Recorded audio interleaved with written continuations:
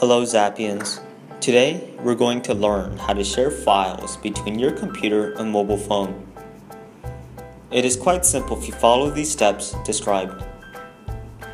First, you need to open the app on both your phone and computer and tap the scan button near the top right of the phone screen. Then you put the camera over the computer's QR code and let the phone scan.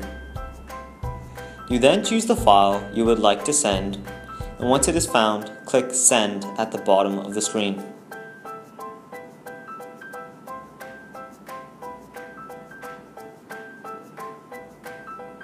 To see the files you have just received, press the small button that looks like a folder next to the file itself. All of the transferred files should be there. And in order to send files from the computer to the phone, click the Send File button on the computer Find the file you would like to send and click Send.